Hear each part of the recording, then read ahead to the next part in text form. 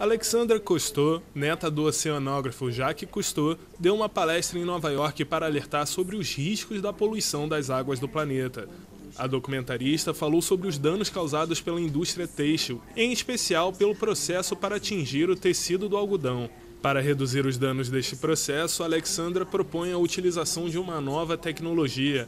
A técnica consiste em um tratamento prévio das fibras do tecido para diminuir a quantidade de água, de substâncias químicas e de tempo gasto.